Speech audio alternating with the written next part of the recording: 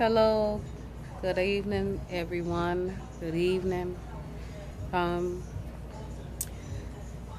home, sweet home, finally. Home, sweet home. Sporting my shirt. 1035 The Beat. Hip Hop and R&B. Yes, supporting the movement. Papa Keith for People Matters, which is on the back of my shirt. I can't show you guys. I'll do that another day. But anyway, I'm here to update you guys about my stem sense journey with TLC. It's been about three weeks now since I've been on the stem sense.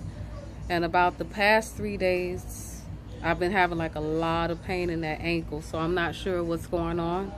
I'm not sure if the joint is kind of trying to reconstruct itself because over time I know my feet were it's a, it was a little twisted basically. It was a little twisted and deformed if you want to say that.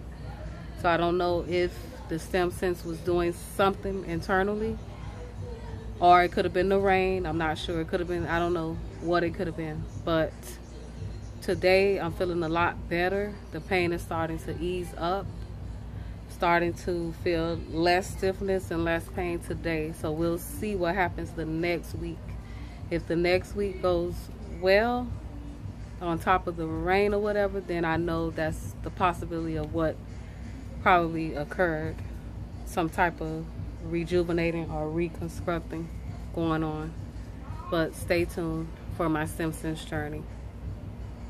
Again, 1035 The Beat, Papa Keith for People's Matter movement, inspiring you guys to get out there and vote. Vote for your local officials, whether it be Broward, whatever county you're in, Miami-Dade County, so that you can make a difference in your communities where it will affect you directly. So that we can start to saturate and come to a solution on the things that um, need to be taken care of, basically one focus for me will be the gun violence in the community and the activities for the children and building up the community. Building up the families trying to come to a solution about making the homes more affordable which they spoke about at the meeting the black votes matter meeting.